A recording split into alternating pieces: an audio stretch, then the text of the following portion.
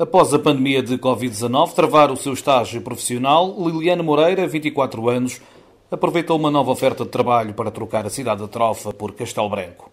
Saiu do litoral para o interior, aproveitando os incentivos da medida Emprego Interior Mais do programa Trabalhar no Interior, lançado pelo Governo em 2020, tendo como objetivo, isso mesmo, fixar pessoas no interior do país. O apoio ajudou, mas a oferta de emprego era muito ambiciosa e então foi, essa foi a principal razão. Mas claro que o apoio depois veio dar todo um outro suporte e um incentivo ainda maior. Aconselha outras pessoas a virem para o interior ao abrigo desse programa? Aconselho, porque as empresas aqui estão preparadas para, para valorizar os jovens com, com graus académicos e, um, e o apoio é uma mais-valia e há muitas oportunidades, é só as pessoas virem para cá porque têm todo o potencial para evoluir profissionalmente. Agora, técnica de laboratório do Centro de Apoio Tecnológico Agroalimentar de Castelo Branco diz-se contente por ter aceitado o desafio sob da medida de apoio através de uma amiga e não perdeu tempo.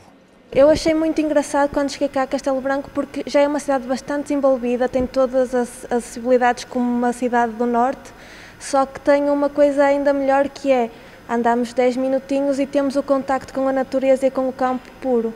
Ajuda a equilibrar a azáfama do dia a dia de trabalho com o relaxamento que depois podemos tirar nas caminhadas. E é para ficar definitivamente? Enquanto puder, sim, porque estou a gostar muito desta experiência. Em Portugal, há dois anos e meio, o engenheiro civil brasileiro de 41 anos, Michel Oliveira, veio para fazer um mestrado, mas acabou por receber uma oferta de emprego na sua área e ficou por Palmela. Uma nova oferta de trabalho encaminhou para Elvas, onde vive há oito meses com a mulher e o filho.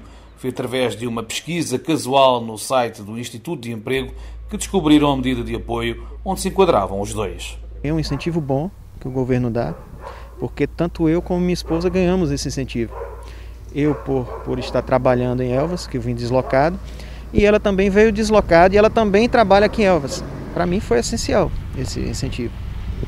É, eu consegui dobrar minha esposa, que é uma pessoa totalmente focada em, em, em, em cidade grande. Eu acho que esse programa é importante pra, justamente para testar as pessoas. Ficam focadas muito só em, capital, né? em cidades grandes. Eu acho que um incentivo desse faz a pessoa refletir melhor e ver a qualidade de vida que tem o interior. Eu pretendia ficar em Elvas. Se não fosse em Elvas, é uma cidade como, como Elvas. Só tem a enriquecer aqui.